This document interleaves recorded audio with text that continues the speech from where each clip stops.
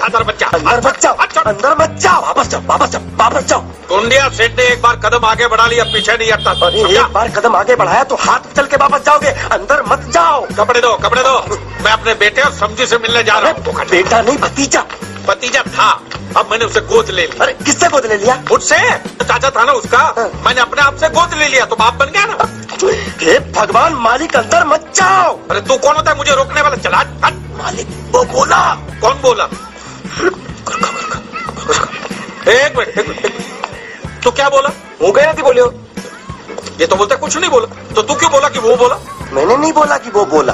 तो तूने क्या बोला? मैंने बोला कि वो बोला। लेकिन मैंने जब उससे पूछा कि वो बोला तो तू बोलता कि वो नहीं बोला। हाँ वो नहीं बोला। और तूने मैंने नहीं बोला कि वो बोला मैंने बोला कि वो बोला। ये पकड़ अल्लाह। ये पकड़ मरोगे आज मरोगे।